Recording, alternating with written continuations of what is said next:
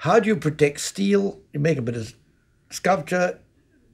You've got to stand outside because they've got room for it indoors. So you varnish it or you paint it. Oh, paint it, paint it brown. You know, that's how I started. Paint it brown. Why does it have to be brown? Let's paint it different color. Try another color. You know, it was like that. It was like that. Um, and uh, so, uh, you know, I kept painting them for a few years. Uh, the paint is so seductive. The color is so seductive in the end. You start enjoying the color. Color is one that hits you. Color always hits you first before form, anyway. And color was, you know, was was taking over a bit, I thought. And then the '60s were finishing, and uh, and there's there's wonderful '60s um, when everything was breaking open and we were fresh and free and thrown away all our attitudes about authority and everything. We were ready. It was great. Not very realistic, but great. I mean, not very down to earth. And then the 70s came along, oh, right down to earth again.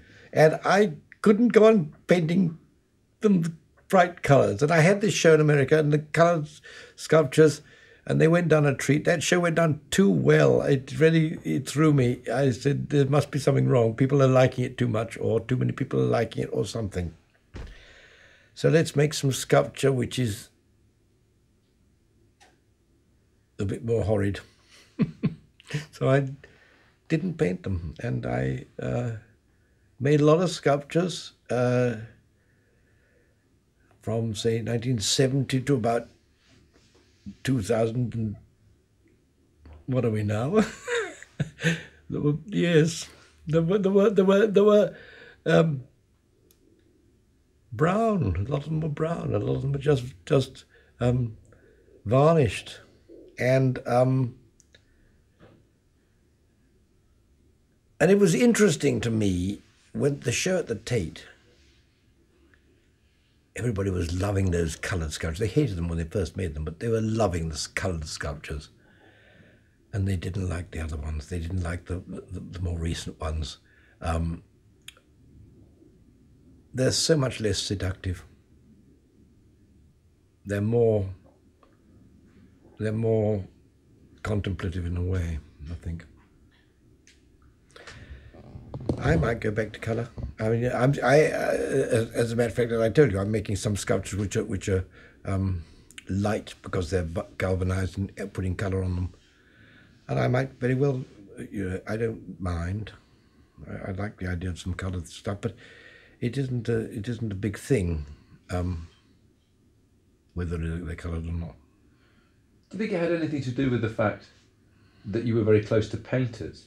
I mean, you seem to know, or seem to know at the time, more painters of your own generation, Helen Frankenthaler, George oh, yeah. Kenneth Noland, and hang out with them more than you did sculptors. Much more, much more. Probably, I don't think it had anything to do with it much, but um, I didn't look at sculpture either. I was, uh, you know, I have not really spent a lot of time looking at old sculpture. I spent a lot of time looking at old painting. Why? Because sculpture, old sculpture has, uh, uh, it, it would tell me a, a, lesson that I don't want to learn or that I know already. Um, it would confirm things and so on. Yes, Greek sculpture is utterly marvelous, utterly wonderful, and so a lot of Indian sculpture is wonderful. And, you know, you can see quite a lot of sculpture in here. But I, I think I'm, I think uh, at least in the early days, I got more um, more food from the painters because they were doing wacky things, and I could. How would that be if we did that sculpture with sculpture wise or something? You know, how could I? Is, is there an equivalent of that? I mean, like you know, like as I told you, working in the in the in the garage, being the equivalent to, to, to being unable to see the, the painting properly, being unable to you know, getting a surprise when you put it up on the wall. And, and, and I would say, you, you put your sculpture out and suddenly it's a new sculpture to you. You see it. You see what you, what you had been trying to do. You don't actually judge when you when you when you behave. You're not making a judgment. You're just behaving. Afterwards, you can look back at the way you behaved and said, "Oh, I did make a cock up of that," or "I did say what I meant to say." But you, you know, you're not acting it. I think this is the danger with with seeing something and responding to it in a way. You're in the middle of making judgments. I think the Blair does that, oddly enough. Do you know? I think he, he he's he's saying something and he's almost seeing himself saying it. I never thought of that until now. Maybe I'm wrong, but uh, you know. But I think that you just act. I think you just make sculpture. Um,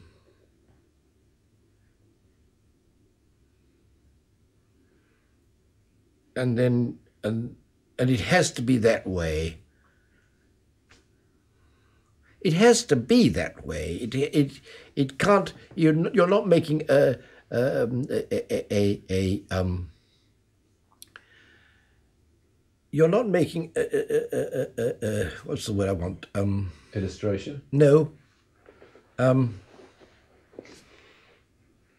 a sculpture which doesn't have which doesn't have it has to be the way it is, but it has to be the way it is not for not because it looks better that way, but but because that's the way it has to be. See what I mean? Yeah. So you're in a sense trying to lose control at some some senses. You're trying to lose control and give the control over to the sculpture, but you're not doing it without any control. That's it. That's it. You're doing it with the sculpture has is taking over somehow. Plus, I mean, all that to do with what you're trying to do, of course, as well.